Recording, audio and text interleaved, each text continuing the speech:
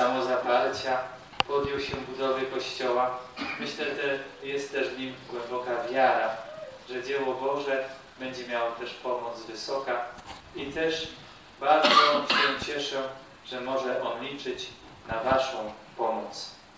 Dziękuję za budowanie Kościoła nie tylko w wymiarze materialnym, ale za głoszone Słowo Boże, za sprawowaną Eucharystię, za podawanie Boga, za udzielanie sakramentów, rozgrzeszenia, za przygotowanie do sakramentów, szczególnie naszej młodzieży. Dziękuję od ołtarza także kochanym rodzicom.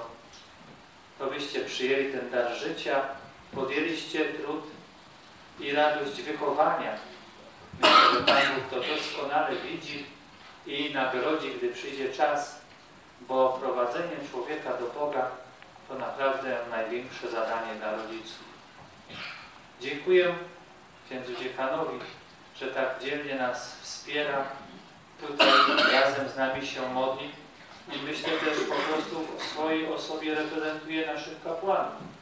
Z tego dekanatu Zabrze Mikulczyce, gdzie 10 parafii się jednoczy pod jego duchowym przewodnictwem.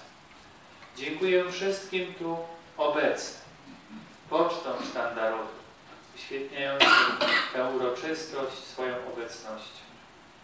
Orkiestrze, która już od samego początku pięknie grała i tak wysoko jest e, tutaj w kościele umieszczona, a myślę też i sercami też wysoko u Pana Boga, Pan organiście e, liturgicznej służby ołtarza. Wiecie, jaka to jest radość zobaczyć tylu szkrabów, kandydatów, ministrantów, lektorów, kantorów razem.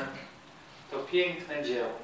Naprawdę trzymajcie się chłopcy i innych też jeszcze przyprowadzajcie, by pod skrzydłami waszego opiekuna wzrastać. Dziękuję wszystkim, którzy budowaliście tę liturgię przez modlitwę, obecność, wsparcie za to, że jesteście.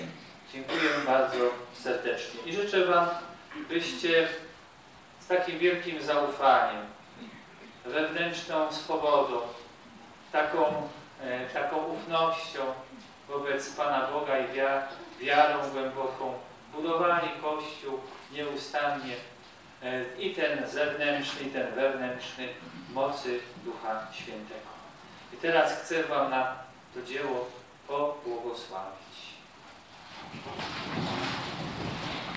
Pan z Wami.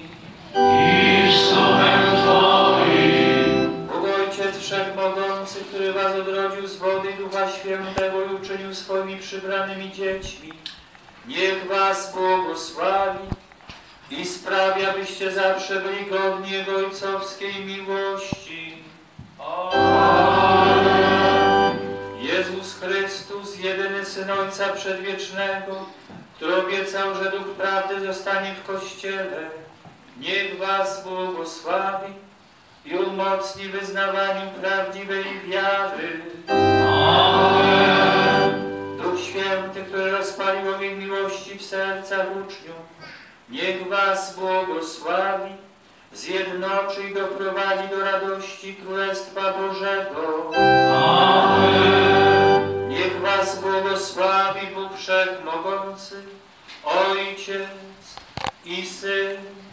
i Duch Święty.